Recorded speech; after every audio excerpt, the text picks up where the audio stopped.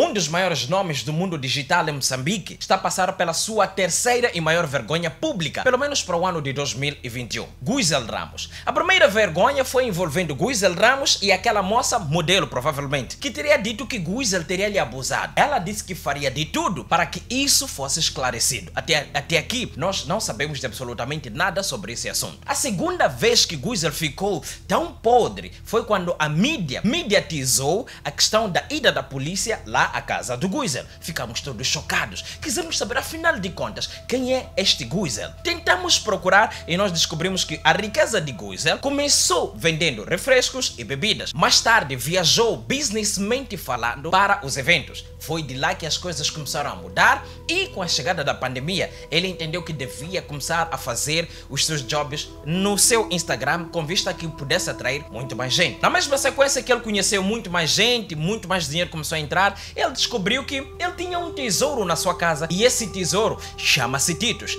Titus este que ele está mordomo na casa do Guizel. Só que é o Titus que traz problemas nos dias de hoje para a vida do Guizel. E publicamente se sabe que Guizel está a dever Titus. Por que, que ele estaria a dever Titus, sendo que Guizel é um cidadão que, segundo ele, em algumas, em algumas conversas públicas que ele teve no passado, chegou a dizer que num final de semana ele consegue torar pelo menos 100 mil meticais. Pelo menos 100 mil meticais. Ele consegue torar numa boa e não se sentir mal. Pelo que se ele for curtir quatro vezes a semana, ou seja, quatro vezes ao mês, ele tora numa boa, tranquilo, sem se preocupar, 400 mil meticais no mínimo. Então, quanto é que Titus, afinal de contas, ganha de salário para que ele não consiga pagar tanto Titus e que consiga pagar pelas curtições? Esses são assuntos que você vai poder compreender aqui. Porque existem coisas que não estão claras. Existe uma mentira aqui escondida que as pessoas precisam compreender. Bem, o que eu vou trazer é uma analogia de factos, com vista que cheguemos a um certo ponto que eu quero que você chegue. Mas em primeiro lugar, meu mano, conheça o maisvendas.co.mz, os links estão aqui embaixo na descrição, é só entrar pelos links e baixar o aplicativo para você poder comprar e vender os produtos e serviços que você precisar comprar e ou vender. Tendo clicado num dos links, é só entrar na App Store ou Play Store, escrever maisvendas.co.mz, depois é só clicar em abrir, depois que tiver baixado, claro. Assim que lhe tiver aberto o aplicativo, a primeira coisa que eu recomendo é que você deslize por estes anúncios que estão em destaque. E para si vai uma dica que vai vender dentro de umas vendas.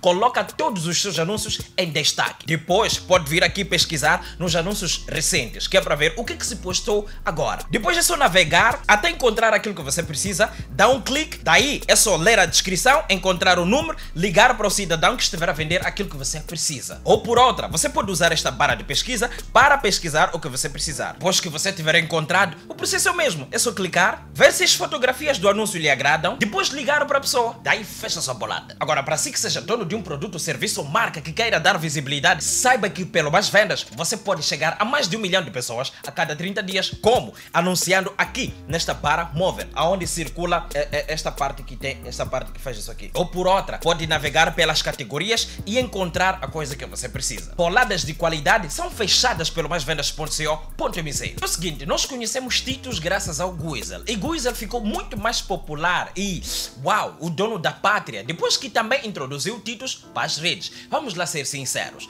Só que pelo que eu entender, segundo o áudio que circula pelas redes, é que Titus teria flechado alguns corações, corações esses que faziam algumas doações com vista a que Titus pudesse ter um dinheiro, provavelmente. Só que esse dinheiro não era canalizado para o Titus. Logo, Titus começou a ficar insatisfeito, começou a sentir-se usado, começou a achar que, não, meu patrão, meu boss, a pessoa que me chama de seu mordomo, que eu garanto visualizações, risos nas suas lives, não está a cumprir com o nosso contrato. E ele teria de alguma forma sentado com algumas pessoas e reclamado publicamente, quer dizer, reclamado privadamente que sem saber que aquilo poderia se tornar público e disse palavras como o meu boss não me está a dar o dinheiro. Que dinheiro é esse? As pessoas mandam para que eu possa ter o dinheiro. Mas eu não estou a ter o dinheiro. E algumas pessoas chegaram a comentar lá que ah na Guizel porque isto porque aquilo porque aquilo? Vou lhe apresentar pelo menos dois factos. Trata-se do aniversário de Guizel Guizel está mergulhado num balde ou poço talvez oceano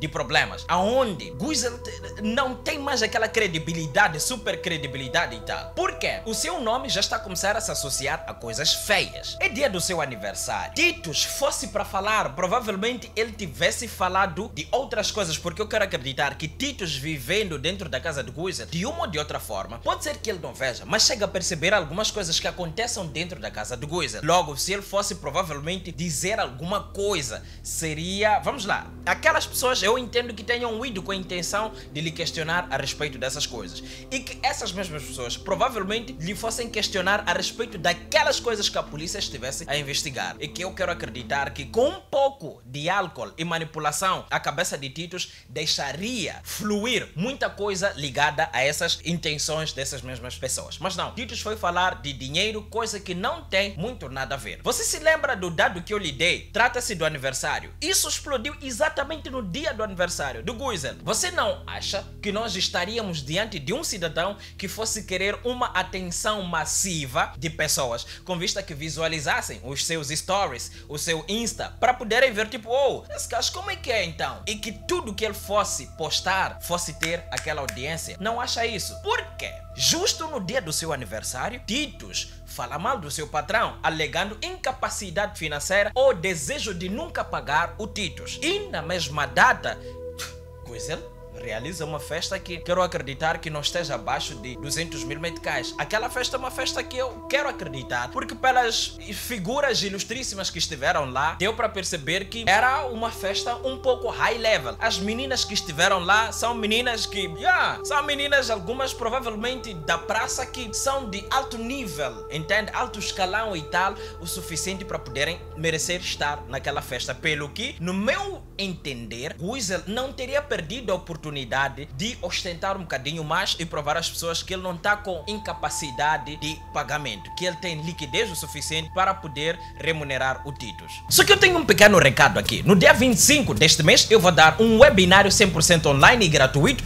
onde você não vai pagar absolutamente nada e eu vou te ensinar a como tu comercializares o teu conhecimento com vista a que através da internet tu ganhes dinheiro e trabalhares assim como eu, a partir de casa e fazeres a tua vida tranquilamente. É dia 25, não se paga absolutamente nada. Quer aprender a como ganhar dinheiro? O link está aqui embaixo na descrição. É só preencher com seu nome e aquele e-mail que você usa todos os dias, que é para não perder absolutamente nada. E eu no próprio dia 25 vou lhe mandar dentro do seu e-mail. É só entrar que é para poder ver a notificação lá e depois fazer parte do webinário. Você vai aprender, vai sair de lá super transformado, meu caro.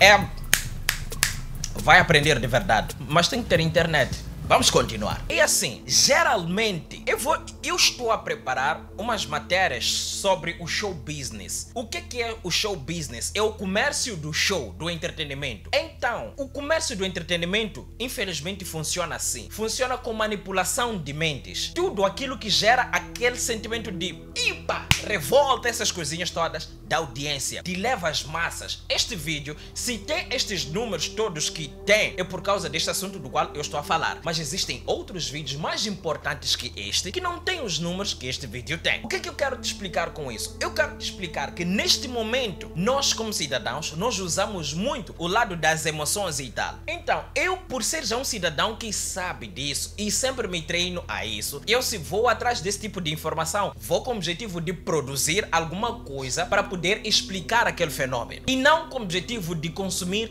e me indignar como tal. Mas a maior parte das pessoas que são audiências da malta funcionam assim. Vão, acreditam em tudo que se posta na rede. Quando surgiu isso, eu fiquei tipo, não, não pode ser verdade. Tito já dizer estas cenas sobre o seu patrão. Não, eu não quero muito acreditar. Quem são as pessoas com as quais Titus anda? Ponto número um. Eu não quero acreditar que Titus circula. Porque Titus é empregado de Guizel. Aquela coisa de mordomo, tá? Titus fica dentro de casa. Os te... Quer dizer, o, o momento em que ele tem para poder curtir, curte com seu boss. Quando é momento de trabalhar, trabalha com ou sem o seu boss. Quando é que ele teria dado esse tipo de informação para as pessoas? E eu quero acreditar que Guizel, de tanto ele ser inteligente, não permitiria que Titus saísse de qualquer maneira, que bebesse de qualquer maneira, até o ponto de poder vomitar coisas que pudessem ser segredos. Eu acredito que se houver algum segredo, Titus tem sim segredos de Guizel. E que isto não seja uma coisa tão grande. Isto aqui é uma coisa simplesmente leve e eu só vim aqui trazer isso, dizer isto aqui pode ser uma coisa orquestrada pelo próprio Guizel, tipo pá, putz, gravem lá essa cena, Titos, fala disso aqui. Estou a vos dizer, é possível. O show business permite isso. Nos faz nós termos que fazer esse tipo de coisa. Então, para poder manter a roda do entretenimento em circulação,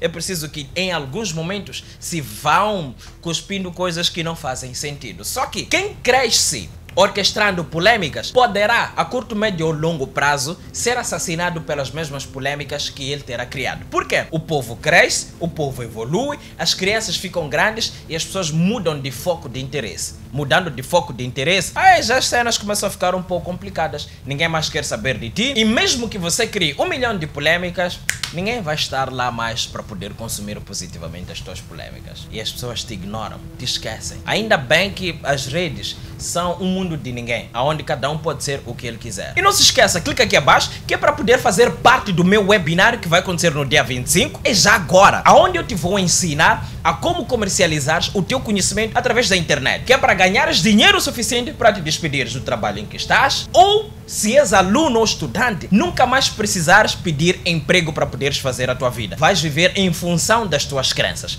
Gostou do vídeo? Eu lhe espero lá no webinário. Inscreva-se e dia 25 já não falta muito, é daqui a pouco. Por agora é tudo e até lá. Um beijão, chupa!